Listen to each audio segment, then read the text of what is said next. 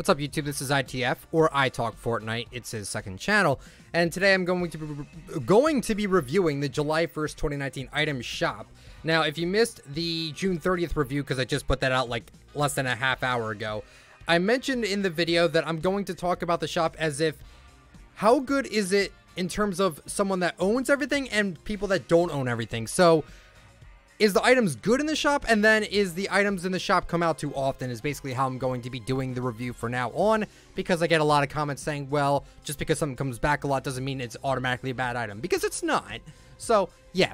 So we got a new set in the shop today called Starfish with the, and I always never know how to pronounce it, the anemone, uh, Finding Nemo reference there. I like this outfit a lot. It's really adorable, honestly.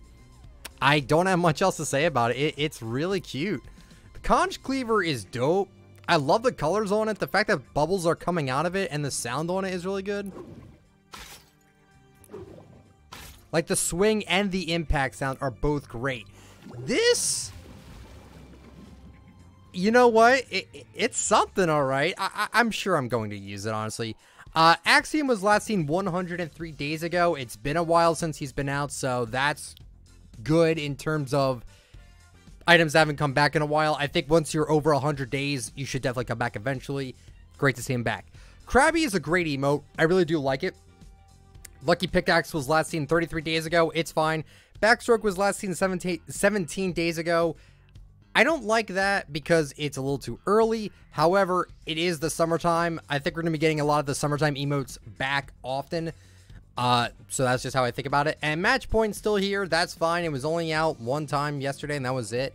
Um, so in terms of a shop that's like, are the items good?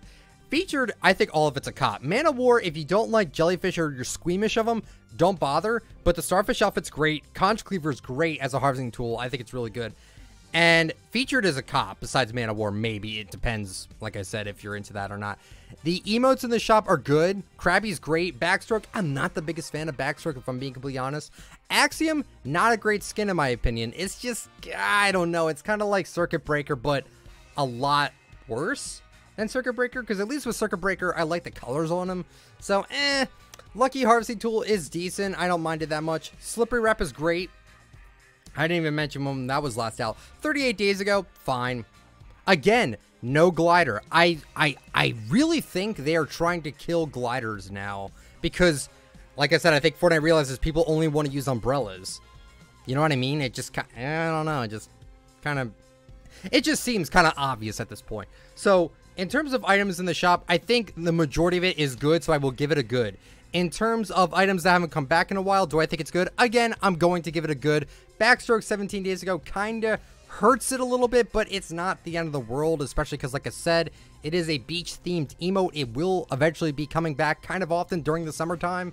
Just makes most sense. You won't see the unwrapped, you know, emo back around this time. That's only around for Christmas time. So I'm okay with it. Krabby is phenomenal. I really do like that emote. The music's great. The movements are great. And overall, I think the shop is good.